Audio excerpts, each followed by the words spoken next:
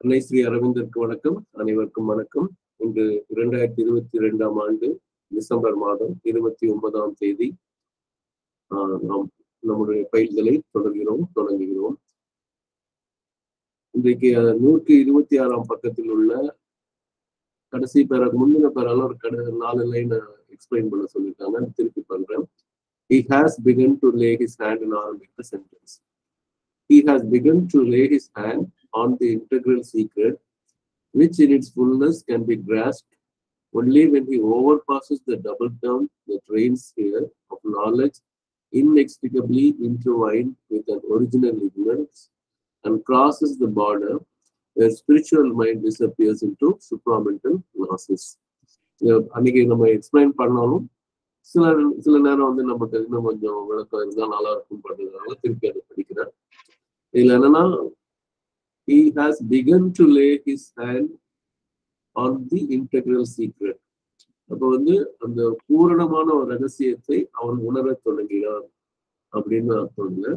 In its fullness can be cross only when to over passes the double term அப்படிங்கிற அப்ப வந்து அந்த பூரண ரகசியத்தை வந்து அவன் முழுமையா எப்ப அவனால கிராஸ் பண்ண பற்றி கொள்ள முடியும் புரிந்து கொள்ள முடியும் அப்படின்னா only when he over passes the the double term அப்ப அந்த ரெட்டை நிலை அந்த நிலையை அவன் எப்போ தாண்டுகிறானோ அப்பதான் அதை பற்றி கொள்ள முடியும் அப்படின்னு சொல்லுவாங்க. அந்த double டேர்ம்ல the trains year of knowledge and ignorance அப்படின்னு எடுத்துக்கிட்டீங்கன்னா சிம்பிளா புரியும். ஒரே நேரத்துல அறிவும் இருக்கு அறியாமையும் இருக்கு. அந்த நாலேஜ் எப்படி இருக்கு? Inter inextricably intertwined with an original ignorance இன்எக்ஸ்ட்ரிகபிளினா பிரிக்க முடியாத இன்டர்வியூனா சிக்குள்ள வித் அன் ஒரிஜினல் இக்னோரன்ஸ் பின்னி பிணைந்தன்னு தமிழ்ல சொல்லலாம்.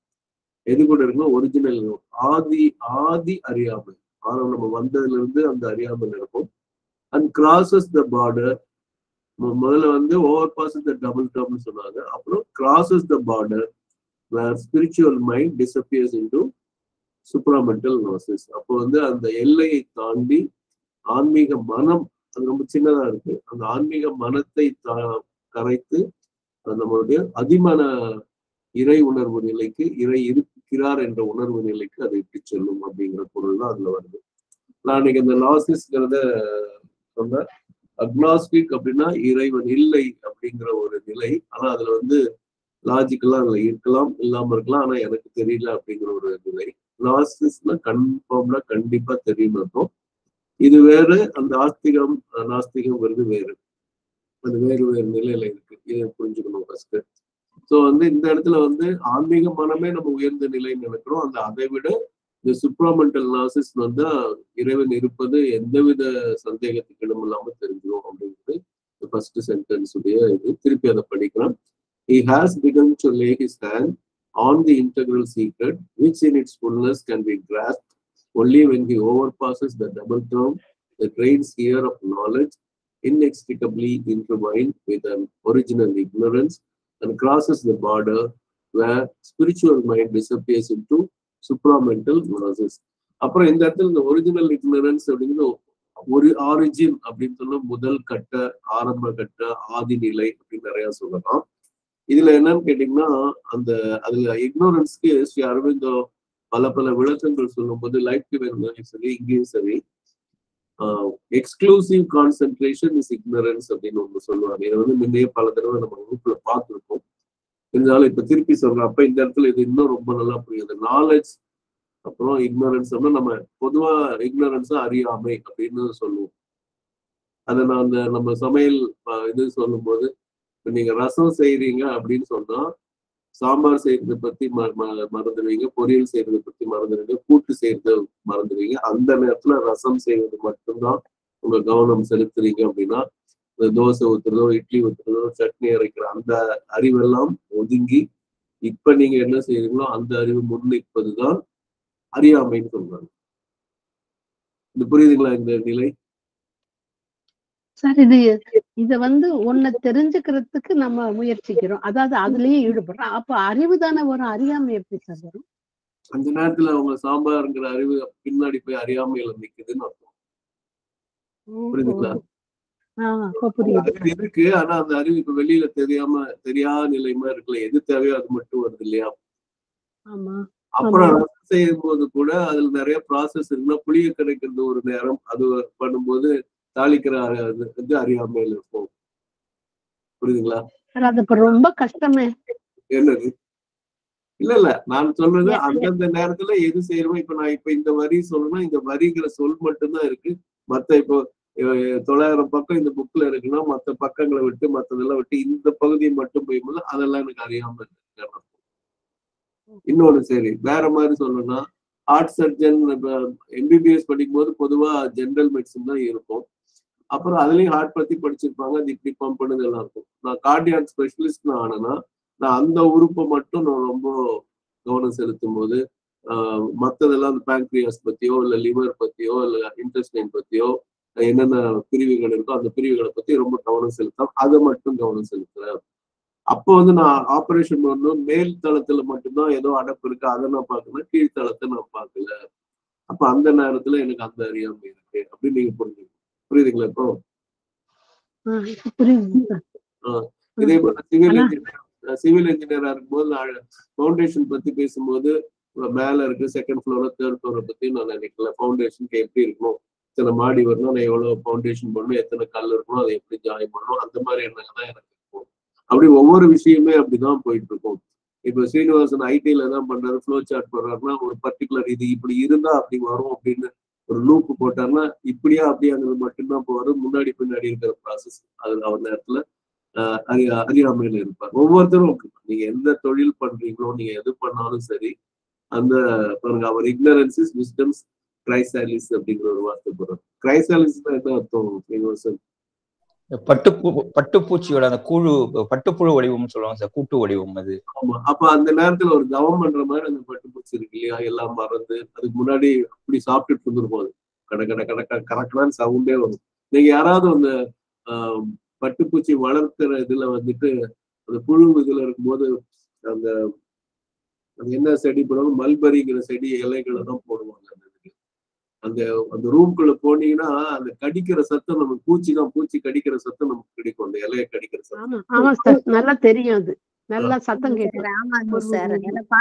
சார் அதே இது வந்து அந்த பட்டுப்புழு வரும்போது எவ்வளவு அமைதியாயிடும் அப்ப அந்த அவ்வளவு வெறி வெறியா சாப்பிடுற அந்த நிலை போய் அமைதி நிலைங்கிறது அப்ப அந்த இடத்துல தின்கிற தன்மைங்கிற அறியாமைக்கு போயிடுதா இல்லையா? அதுக்கு முன்னாடி முட்டையா இருந்தது அறியாமைக்கு போயிடுதா இல்லையா? அதுக்கப்புறம் வெளியே அது அந்த நல்ல சரியான தருணம் வரும்போது அது பிளந்துட்டு பட்டு பூச்சியா வண்ணத்து பூச்சியா வெளியே வரும்போது இந்த கூட்டுத்தன்மை அதுக்கு அறியாமையில போயிடுதா இல்லையா? இந்த நாலு நிலை இருக்கும். முட்டை நிலை அப்புறம் புழு நிலை அப்புறம் வந்து இந்த கூட்டு நிலை அப்புறம் பட்டுப்பூச்சி இறுதி நிலை. புரியுதுங்களா? சார். அதுதான் சார் இங்க இந்த இடத்துல அவங்க அவர் அவரு போட்ட வார்த்தை வந்து அவ்வளவு அற்புதமா பொருந்திருக்கு இன்எக்ஸ்ட்ரிகபிளி Intertwined. சூப்பரா. அப்பதான் நமக்குள்ள அந்த அறியாம ஒரு பக்கம் இருந்துட்டு ஒரு பக்கம் அறிவு வருது. திருப்பி அந்த அறிவு வேற பக்கம் போகும்போது இந்த அறிவு அறியாமை ஆயிடுது. அப்படிதானே அதேதான். அது சூப்பரா இருக்கு சார் இது. ரசிக்கிறாப்புல இருக்கு. அது எல்லாத்தையும் விட இன்னொன்னு கவனிங்க. இப்ப நான் வந்து இப்ப தனித்தனியா சமையல் மெடிக்கல் இன்ஜினியரிங் ஐடி என்ன சொன்னாலும் இப்போ மகேஷ் கணக்கு எடுத்துட்டா அவர் வந்து இப்போ வந்து பிரகஸ்பதிங்கிற வியாழனை பார்க்கும்போது வெள்ளியும் திங்களும் செவ்வாயும் எல்லாம் பின்னாடி போயிடுவாங்க ராகு கேதுன்னு அப்புறம் அந்த வியாழன் குரு பார்வை எப்படி இருக்கும் அதை மட்டும்தான் கவனிச்சுட்டு இருப்பாரு. அது எவ்வளவு நாள் இருக்கு அதோட அம்சம் என்ன ஏதுன்னு பார்ப்பாரு. கரெக்டா மகேஷ்? ஆமாங்க ஐயா. இப்போ வந்து அஞ்சனாமா வந்து செக்ஷன்ஸ் பார்த்தாங்கன்னா செக்ஷன் எந்த செக்ஷன் ஐடில பாக்குறாங்களோ அந்த இது மட்டும் கவனம் செலுத்துவாங்க. இப்போ செக்ஷன் டென் அப்படிங்கிறது வந்துச்சுன்னா எயிட்டிஜி இல்ல எயிட்டிஜி பார்த்தா ரிபேட் மட்டும்தான் டென் கீழே ரிபேட்ஸ் வரும் அந்த எயிட்டிஜி வந்து என்ன ரிபேட் அது ஃபிஃப்டி பர்சன்ட் வரும். அதே thirty two one and three அப்படின்னு வந்துச்சுன்னா ஹண்ட்ரட் பர்சன்ட் டேக்ஸ் ரிபேட் வரும். நம்ம ஆசிரமத்துல நீங்க யாரெல்லாம் நன்கொடை பண்ற கொடுக்குறீங்களோ யாரெல்லாம் ஐடி அசஸியா இருக்கீங்களோ அவங்க வந்து எப்பெல்லாம் டொனேஷன் கொடுக்க get me receipt for thirty five one and two போட்டிங்கன்னா அது வந்து அவங்க நூறு பர்சன்ட் டிஸ்கோ டிபேட் கொடுத்துருவாங்க. அப்போ வந்து நம்ம அதை அந்த ரசீதை நம்ம ஐடி ரிட்டர்னோட ஃபைல் பண்ணா நூற்றுக்கு நூறு நமக்கு அந்த இது வரும். ஸோ டேக்ஸா கட்டுறதுக்கெல்லாம் நம்ம அதை கொடுக்கறதா ஒன்று அஞ்சலாமா? கரெக்டா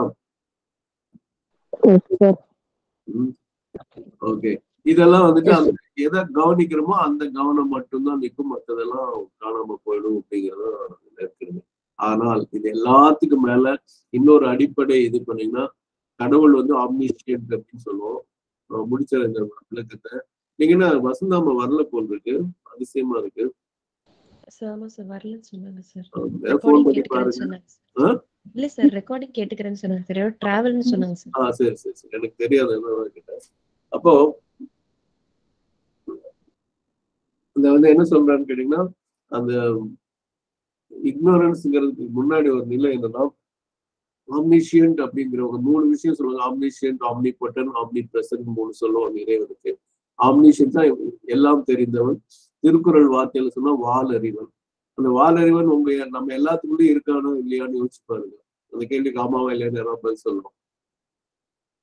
எஸ் சார் அப்படி இருக்கும்போது எல்லாம் தெரிந்த நாம் எதுவும் தெரியாத மாதிரி ஓரளவு தெரிஞ்ச மாதிரி இல்ல மாயத்தை மாயக்குள்ள இருக்கோம் அப்படின்னு சொன்னா அதுவே வந்து அந்த இன் இன்எக்ஸ்பிகபிளி அந்த இன்டர்வைண்ட் இக்னோரன்ஸ் ஆகுதா இல்லையான்னு யோசிச்சு பாருங்க. அப்ப ரொம்ப நல்லா புரியும்.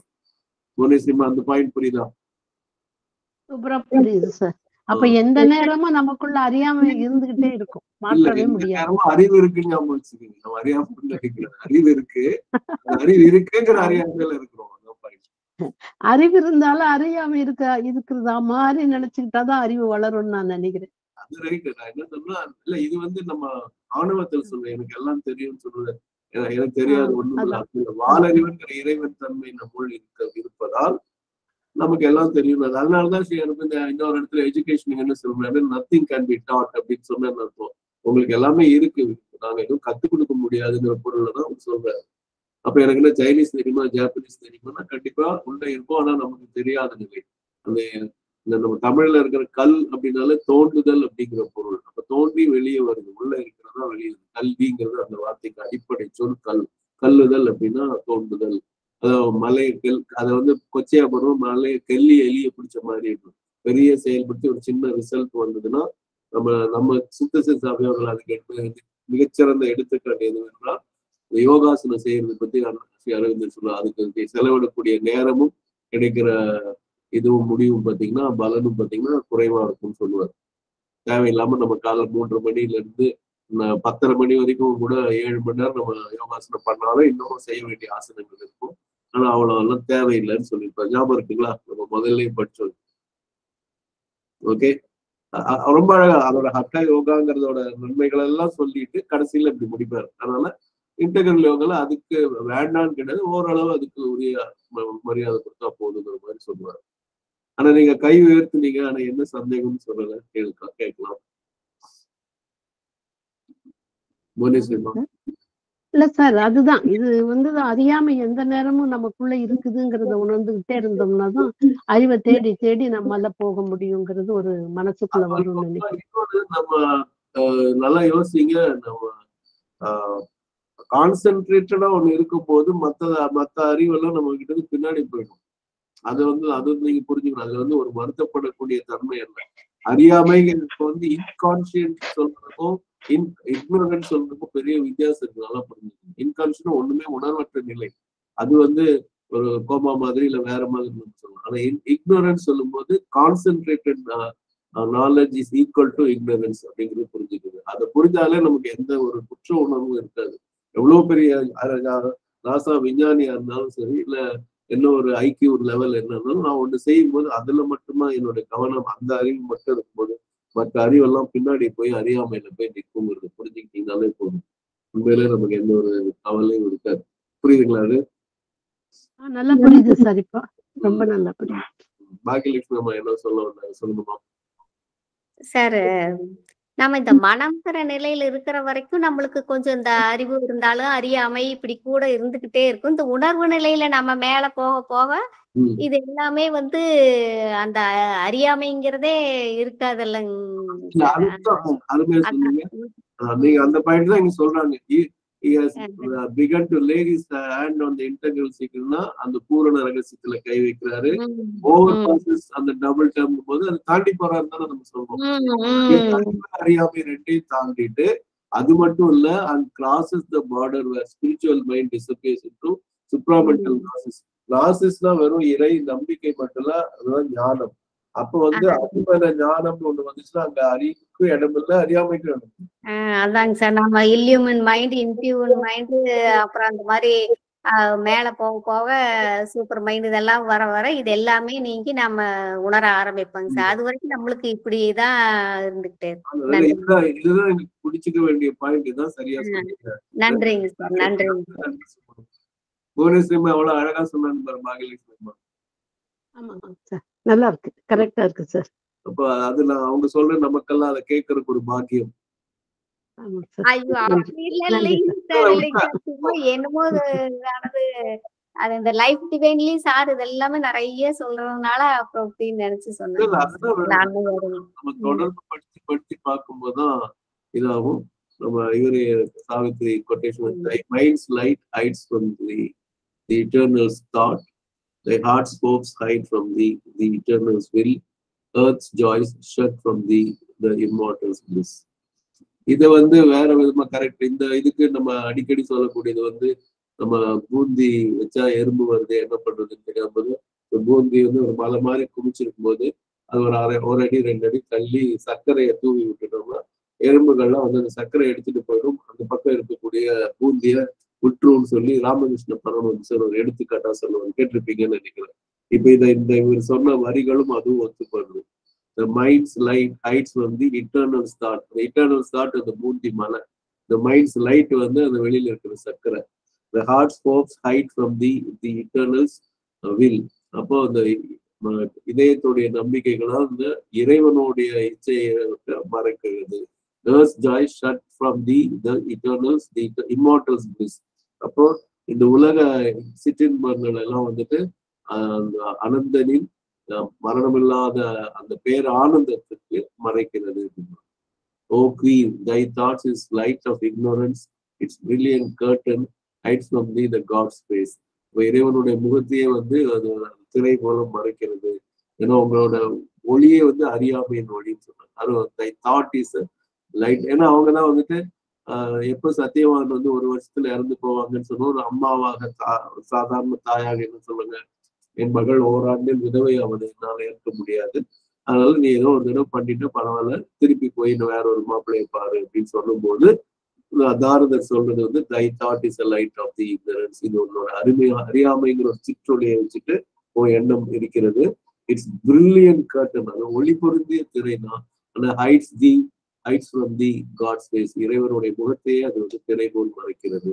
ஏன்னா இறைவனுடைய முகம் என்ன சொல்கிறது என்றால் இந்த சத்தியவானின் உயிரை மீட்டெடுக்கலாம்.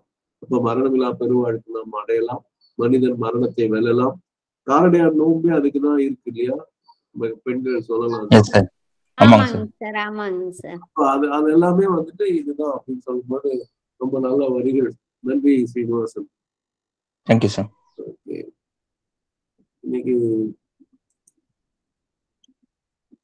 இந்த புக் ஆஃப் ஃபேட்ல வந்து பகவான் நல்லா விவரிச்சிருப்பாருங்க சார் இது அத்தனையுமே நம்மளோட ஹியூமன் இக்னோரன்ஸ் என்ன பண்ணுது? அந்த டிவைன் இம்மார்டலோட பிளிஸ் வந்து எந்த அளவுக்கு நமக்கு ஹெல்ப் பண்ணுது இந்த ignorance ல இருந்து வெளியில வர்றதுக்கு?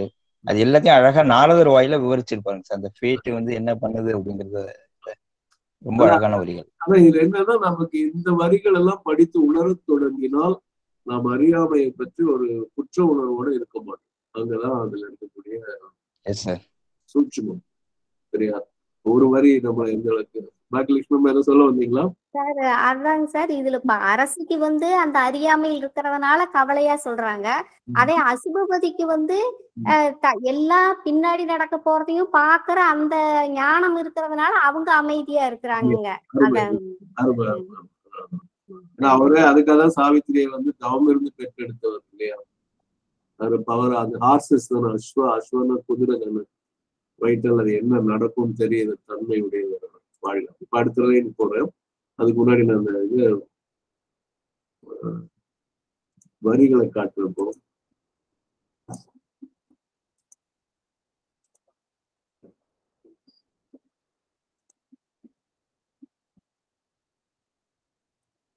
அதுக்கு அற்புதம் வருது.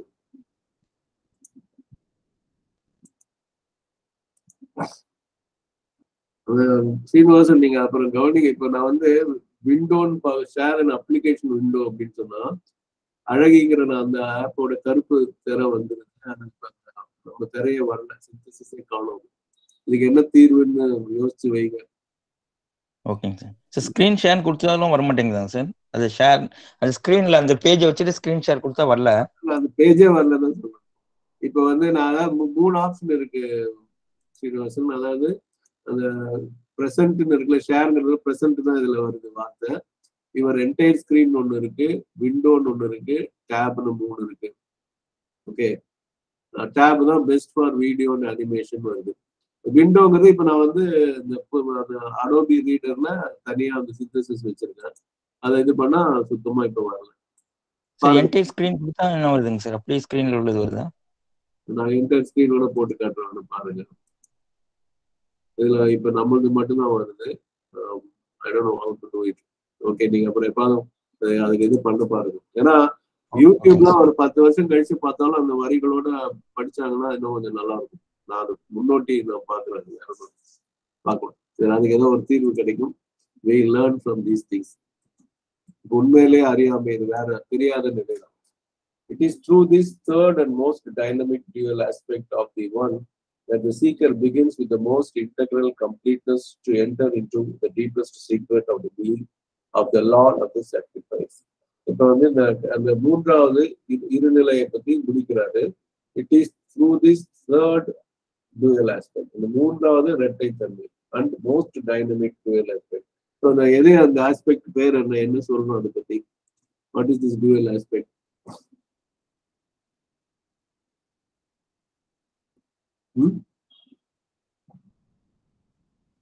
சொல்லலாம் யாராவது. What is this dual aspect? வேகமா சொல்லுங்க மாய் மாயாவை சொல்றாங்களா சார் இப்ப மூணாவதுன்னு சொல்லிட்டாரு. முதல்ல தான் பிரம்மன். சக்தி.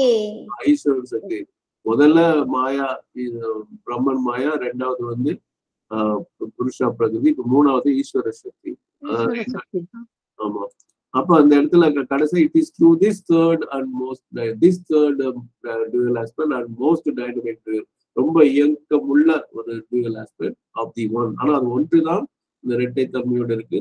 That the seeker begins with this with most most integral பூரணமான பூரணனாலே முழுமை தான் முழுமையான பூரணம் அது பூரண பூரணமான முழுமை. Enter enter the the deepest of the the being. அப்ப மிக ஆழமான அந்த ரகசியத்துக்குள் நுழைகிறார் அப்படின்னு சொல்லலாம். எந்த of the being of the lord of the sacrifice இந்த வேள்வி தலைவனுடைய இதுக்கு போகிறாரு அந்த இருப்புக்குள் போகிறது இங்க நான் திருப்பி அன்னைக்கும் சொன்னேன் நானு. ஆஹ் இதுக்கு முந்தின சென்டென்ஸ் ஆரம்பிக்கும் போது he has begun to lay his hand on the integral சீக்ரெட்னு சொன்னாரு. அந்த இடத்துல வந்து அந்த பூரண ரகசியத்தை அவர் உணர தொடங்குகிறார். அவருடைய கை வைக்கப்படுகிறது அப்படி அந்த வேலையை ஆரம்பிக்கிற மாதிரி அவர் ஏதோ ஒரு இப்போ ஒரு குச்சியை கொடுத்து குடியுங்க அப்படின்னு சொன்னா அதை பற்றி கொள்கிறோம் இல்லையா? அதனால இஸ் லே ஹிஸ் ஹேண்ட் வந்து த டீப்பஸ்ட் சீக்ரெட் அப்போ அந்த இடத்துல என்ன சொல்றது? பிகன்ங்கிற வார்த்தை. அப்ப பிகின்ங்கிறத ஆரம்பிக்கிறது. இந்த இடத்துல கம்ப்ளீஷன் டு என்டர் அப்படின்னா புகுதல். அதுவும் வந்து என்டர்னு போதும் இந்த பிகினிங் போது கிட்டத்தட்ட ஒரே பொருள். இருக்கும் ஸோ இங்கேயோ டீப்பஸ்ட் சீக்ரெட் அங்க வந்து இன்டெகிரல் சீக்ரெட்னு ரெண்டு வார்த்தைகள் போடுறாங்க. இப்போ இந்த மாதிரி சென்டென்ஸுக்குள்ள இருக்கக்கூடிய பொருத்தங்களை அதை என்னென்ன மாதிரி சொல்றாரு பண்பு சொற்களை பயன்படுத்துறாங்கிறது நம்ம கவனிக்கணும் இன்னும் கொஞ்சம் பெருசு பண்ண முடியுமான்னு பாருங்க பிரியாமோ ஆனா இப்ப அதை பெருசு போனோம் சென்டென்ஸ் மாதிரி. அதான் பிரச்சனை. இதே நீங்க என்ன ஆஹ், இப்படி லே அவுட் லேண்ட்ஸ்கேப்னு சொல்லுவாங்க அது கொண்டு வர முடியுமான்னு பாருங்க அது பண்ணீங்கன்னா இன்னும் கொஞ்சம் இதாக இருக்கும் நம்ம. கரெக்ட் தானே? இந்த மாதிரி பண்ணிட்டு இப்ப பாருங்க. பெருசா இருக்கா? சீனிவாசன் நமக்கு எனக்கு கொஞ்சம் மூளை வேலை ஓகே எஸ் சார் இக்னோரன்ஸே வெளியில வந்திருக்கோம் தேங்காய் பிரியாமாவுக்கு நன்றி அது இப்ப அதை விட பெருசா இப்ப நான் almost this is what I expect okay good so will finish that it is through this third and most dynamic dual aspect of the one that uh, the seeker begins with the most integral completeness to enter into the deepest secret of the being of the Lord of the sacrifice. இப்போ வந்து அடுத்த paragraph போறோம் ஆஹ் நான் வந்து இப்போ அடுத்த பேரா போற முந்தி பல பேர் என்கிட்ட எதிர்பார்க்கறது வந்து முந்தின பேராவுடைய சாராம்சத்தை எதிர்பார்க்குறாங்க. அதை நான் ஒரே வார்த்தையில சொன்னா ஈஸ்வர சக்தி பத்தி இந்த ரெண்டு சென்டென்ஸ் சொன்னதே அதோட சாராம்சம் தான். சரிங்களா? அந்த பேராகிராஃபோட சாராம்சம் அதுதான். இப்போ நம்ம வந்து அடுத்த சென்டர் இதுக்கு போறோம் புது பேராகிராஃப்க்கு புள்ளி முற்றுப்புள்ளி வரைக்கும் அந்த இதை கொண்டு வந்து ரிடில் ஆஃப் எக்ஸிஸ்டன்ஸ் வரைக்கும் அந்த ஹைலைட் இருக்கணும் it should not go beyond கேக்குதா correct for it is behind the mystery of the presence of personality in an apparently impersonal universe, as in that of consciousness manifesting out of the inconscient, life out of the inanimate, soul out of brute matter. That is hidden the solution of the riddle of existence. இந்த sentence வந்து குழப்பம் இல்லாம படிக்கணும் அந்த ரெண்டு கோடு இருக்குல்ல அதை விட்டுட்டு படிக்கிறது தான் ரொம்ப நல்லா புரியும். For it is behind the mystery of the presence of personality in an apparently impersonal universe that is hidden the solution of the riddle of existence அந்த ரெண்டு ரெண்டு லைனை தாண்டி படிச்சீங்கன்னா இது ரொம்ப பிடிக்கும் ஸோ ஃபார்னா உங்களுக்கு எல்லாம் பல முறை சொல்றேன் பிகாஸ் வந்து அடிக்கடி ஸ்ரீ அரபிந்தோ யூஸ் பண்ணாரு நான் பொதுவா ஆங்கில சட்டப்படி வந்து பிகாஸ்னு ஆரம்பிக்கிறது சென்டென்ஸ் அதனால ஃபார்ங்கிற சொல்ல பயன்படுத்துறாரு. Because it is behind the mystery of the presence of personality அப்போ அந்த ஆளுமை அந்த ஆளு குணமுள்ள ஒரு பர்சனாலிட்டி இருக்கும்போது அந்த இருக்கு பின்னால் பிஹைண்ட் த மிஸ்ட்ரி அதற்கு பின்னால் ஒரு மர்மம் இருக்கிறது. இன்னும் அந்த மர்மம் எங்க இருக்கு? இன்னும் அப்பேரண்ட்லி இம்பர்சனல் யூனிவர்ஸ் இந்த பிரபஞ்சம் இருக்கிறது அந்த பார்வைக்கு இந்த நிர்குண பிரபஞ்சமா தெரியுது. அப்படியே எடுத்துக்கலாம். அல்லாட்டி ஒரு- ஒருத்தருக்கு சுடவும் இப்ப தீனா ஒருத்தருக்கு சுடுது. சரி ஒரு நம்ம நண்பர் அவ்வளவு சுடாம இருக்கலாம் அப்படின்னு எல்லாம் சொல்றது இல்லை சில பேர் வராங்கன்னா சரி சரி நீங்க வரிசையில வர வேண்டாம் நீங்க முன்னாடி போயிடுங்க அப்படின்னு எல்லாம் சொல்றதெல்லாம் வந்துட்டு பர்சனலா போயிடும். இங்க வந்து யூனிவர்ஸ் அப்படி யாருக்கும் பாக்குறதுலாம் அந்த impersonal universe that is hidden the solution of the riddle of existence இந்த இருப்பின் விடுகதைக்கு அந்த இதுக்கு பின்னால் தான். ஏன்னா இப்ப கொஞ்சம் முன்னாடி சொன்ன அந்த சீக்ரெட் சீக்ரெட் சீக்ரெட் சொன்னதோட இப்ப என்னன்னா மிஸ்ட் அந்த சீக்ரெட்டுக்கு இன்னொரு வார்த்தை போடுறாங்க மிஸ்ட்ரிங்கிற ஒரு வார்த்தையை போட்டுறாரு அது இருக்கிறது தட் இஸ் ஹிடன் சீக்ரெட்டும் ஹிடனா தான் இருக்கும். ஆனா அதுக்குள்ள சொல்யூஷன் இருக்கு. Solution of the riddle of existence அப்படின்னு சொல்றாரு. ஆனா எப்படி இருக்குன்னா as in that of consciousness manifesting out of the inconscient இங்க வந்து நல்லா புரிஞ்சுக்கும் எதிரெதிர் நிலையில ஒரு இருளில் ஒளி இருக்கும் ஒளியில் இருள் இருக்கும் அப்படின்னு சொல்லக்கூடிய ஒரு தன்மை. So that of consciousness manifesting out of inconscient உணர்வற்ற நிலையிலிருந்து உணர்வு நிலை என்பது வெளிப்படும். ஆஸ் ஆஸ்னா அது போல அப்படின்னு அர்த்தம். As life out of the inanimate இன்னிமேட்னா எந்த செயல் ஆக்கம் ஊக்கம் எதுவும் இல்லாமல் உயிரற்ற ஒன்றிலிருந்து இயக்கமற்ற ஒன்றிலிருந்து இயங்கும் இயங்கும் தன்மையுடைய வாழ்வு வந்தது போல. As life out of the இன்ன அந்த ஆஸ் இங்க கொண்டு சேர்த்து. அதே மாதிரி as soul out of brute matter matter அப்போ வந்து அந்த பொருள் அப்படிங்கிற ஜடம் அப்படிங்கிறது ப்ரூட்டுங்கிறது ஒரு ஒரு முரட்டுத்தனமானன்னு வச்சுக்கலாம். இல்லாட்டி அந்த ஒரு இயங்கு தன்மை ஒரு மாதிரி அறிவற்ற அப்படிங்கிற பொருளும் கொண்டு வரலாம். அதுல இருந்து ஒரு ஆன்மா வந்து போல இந்த mystery of the presence of personality in an apparently impersonal universe that is hidden the solution of the riddle of existence இது சாதாரண வேற இதுல சொன்னா இப்போ நம்ம எங்க ஏதாவது ஒரு இருட்டுல ஒரு பொருளை போட்டோம்னா சொல்லுவாங்க எங்க விட்டோமோ அங்கதானே தேடணும்னு சொல்லுவாங்க. கேட்டிருக்கீங்களா? ஆமாங்க சார். எங்க உண்மையை எங்க மறைஞ்சதோ அந்த இடத்துல போய் எங்கேயோ பொருளை எங்க விட்டோமோ நான் பாண்டிச்சேரியில விட்டுட்டு புதூர் உத்தமலூர்ல தேடினா எப்படி இருக்கும்ல ஈரோட்ல தேடினா எப்படி இருக்கும்? ஆமாங்க சார். ஆனா அது மாதிரிதான் இங்க சொல்றாங்க. அது சம்பந்தம் இல்லாத ஒரு இடத்துல inconscient is opposite to consciousness inanimate is opposite to life matter is opposite to soul ஆனா அதுக்குள்ளதான் அதோட விஷயம் இருக்கு அப்படின்னு சொல்றாங்க. இதுதான் இதுல இருக்கக்கூடிய ஒரு தத்துவம் புரிஞ்சுக்கணும் ஆனா பார்க்கும்போது ஒரு பைத்தியம் அதுதான் பாட்டுல சொல்லுவாங்க இருக்கும் இடத்தை விட்டு பாக்கி சொல்லலாம் நீங்க இல்லாத இடம் தேடி அலைகின்றார். இல்லாத இடம் தேடி எங்கெங்கோ அலைகின்றார் ஞானத்தங்கமே வரும் அடுத்த சென்டென்ஸ் நம்ம சார் அதுல அடுத்த வரியுமே பாருங்களேன் அது அவர் ஏதும் அறியார் அடி ஞானத்தங்கமே வரும். அதுல ஓகே பவர் பவர் பவர் வரைக்கும்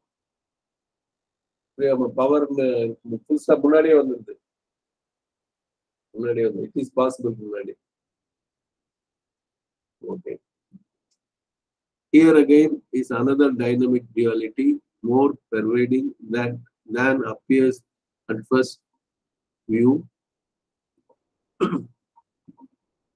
நீங்க அதை வந்து அப்படியே லைனா பார்க்காம ஃபுல்லா கொண்டு வரலாம். ஓகே அந்த மாதிரி போனீங்கன்னா ஈஸி போடும் Here again is another dynamic duality. More pervading than than appears at first view and deeply necessary to the play of slowly self-revealing power. அப்போ இங்கே இன்னொரு டைனமிக் டியூவாலிட்டி தான் வருது. இயக்கமுள்ள ஒரு இது ஒரு தன்மை. More pervading there appears at first view முதல் நீங்க பார்த்தா அப்படி பர்வேடிங் அப்படி பரவுற தன்மை. பரவுற தன்மை மற்றவங்களோட அவங்க வந்து இப்ப சொல்ல போறது பரவும். அப்பியர்ஸ் அட் ஃபர்ஸ்ட் பார்க்க முதல்ல பார்க்கும்போது அப்படி பரவு பரவும் தோணாது. And deeply necessary to the play of the slowly self revealing power அந்த தன்னை மெதுவாக வெளிக்காட்டக்கூடிய அந்த சக்திக்கு ஆற்றலுக்கு இது வந்து ஆழமாக ஒரு தேவை அதுக்கு இருக்கிறது. திருப்பி படிக்கணும். Here again is another dynamic duality more pervade, pervading than appears at first view and deeply necessary to the play of slowly revealing power. இப்ப நீங்க அதை தமிழ்ல படிச்சுட்டா இதோட நம்ம நிறுத்திக்கலாம். யாராவது ஒருத்தர் படிங்க தமிழ்ல. படிக்கிறேங்க பக்கம் சொல்லி பக்கம் சொல்லி படிங்க இப்போ. ம், பக்கம் நூத்தி தொண்ணூத்தி நாலு கீழே ரெண்டாவது பத்தி. ஏனெனில் உணர்வின்மையிலிருந்து உணர்வும் உயிரற்ற நிலையிலிருந்து உயிரும் பண்படாத சடப்பொருளிலிருந்து ஆன்மாவும் வெளிப்படுதல் என்னும் மர்மத்திற்கு பின்னால் இருப்பு என்னும் புதிரின் தீர்வு எவ்வாறு ஒளிந்துள்ளதோ அவ்வாறே நிர்குணமாக தோன்றும் பிரபஞ்சத்தில் சகுணன் இருக்கின்ற மர்மத்திற்கு பின்னாலும் அது ஒளிந்துள்ளது. இங்கும் செயல்திறன் மிக்க இன்னொரு இரட்டை நிலை உள்ளது. சகுன நிர்குண நிலை என்னும் இந்த இரட்டை நிலை முதற் தோற்றத்தில் தெரிவதை தெரிவதை விட எங்கும் பரவி நிற்கும் ஒரு தத்துவமாகும். அது சக்தியின் படிப்படியான சுய வெளிப்பாடு என்னும் லீலைக்கு மிக ஆழ்ந்த விதத்தில் தேவைப்படுவதாகும். நன்றிங்க சார்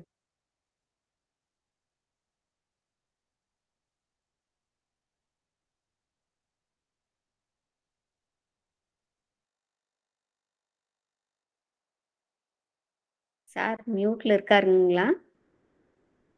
நன்றிங்கம்மா நன்றி. நான் நன்றி நன்றிங்க சார் நாளைக்கு இது தொடர வாய்ப்பு இருக்கும் நம்புறேன். ஏன்னா நான் சென்னையில இருப்பேன் நாளைக்கு காலையில. அப்போ நான் போற இடத்துல வந்து அந்த எல்லா வைஃபை எல்லாம் நல்லா இருந்து ஒர்க் பண்ணா கண்டிப்பா பேசுவோம். அப்புறம் இன்றைய இன்றைய இதை வந்து நிறைவு செய்கிறோம். நாளை காலை சந்திப்போம்.